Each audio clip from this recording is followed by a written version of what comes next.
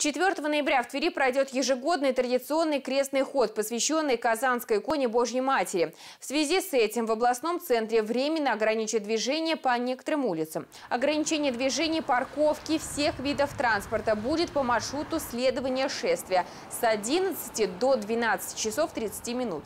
Согласно распоряжению администрации Твери, движение будет перекрываться по мере прохождения крестного хода на улицах Спартака, Софьи Перовской, Советской, Ивана Седых, Горького, Благоева, Конопляниковой и Волынской, а также на Старом Волжском мосту и Комсомольском проспекте.